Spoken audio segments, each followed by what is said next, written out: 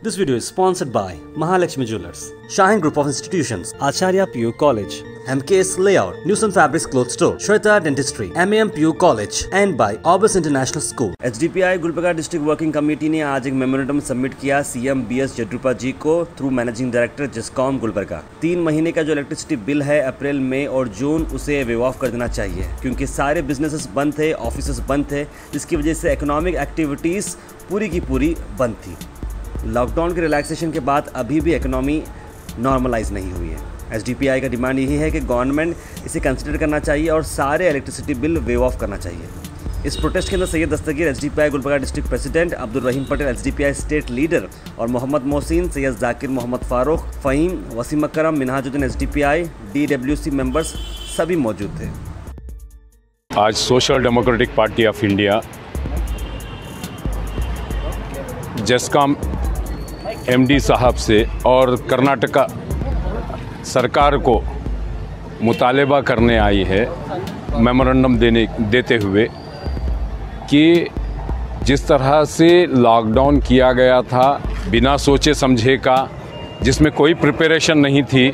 जिसमें आम आदमी बहुत ही परेशानियों से दो चार हुआ चैलेंजेस आए, उसमें गवर्नमेंट ने गवर्नमेंट की एजेंसीज़ ने जो अपना छोटा मोटा जो किरदार निभाया बल्कि आवाम ने बहुत ही चैलेंजेस को फेस करते हुए आगे बढ़े हैं। तो हमारा मुतालबा है कि सरकार जब इंडस्ट्रियलिस्ट के, उनके टैक्सेस और बिजनेसमैन के टैक्सेस अगर माफ़ कर सकती है और बिल्स वगैरह इंडस्ट्रियलिस्ट के माफ़ कर सकती है इंडस्ट्रीज़ के तो आम आदमियों के लिए भी वो बिल माफ़ करे। तो Social Democratic Party of India मुतालबा करती है कि तीन माह का बिल अवामनास का माफ़ किया जाए, विवाफ किया जाए। Social Democratic Party of India की जानब से पूरे स्टेट भर में ये लॉकडाउन की वजह से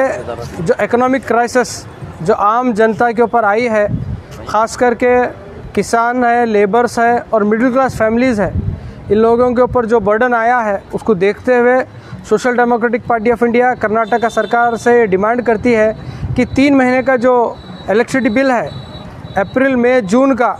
ये माफ़ करें, क्योंकि हम देखते हैं दिल्ली की गवर्नमेंट भी इलेक्ट्रिसिटी बिल माफ़ की है। खुद कर्नाटक की गवर्नमेंट मई के महीने में स्मॉल स्केल इंडस्ट्रीज़ और मीडियल मीडियम स्केल इंडस्ट्रीज़ का दो महीने का फ़िक्स चार्जेस माफ़ की है। उनका इंडस्ट्रीज़ का जो बर्डन है बिज़नेस लॉस होने की वजह से उनका बर्डन है, उसको कम होने की वजह से उन दो महीने का फिक्स चार्जेस माफ़ किए। उसी तरह पे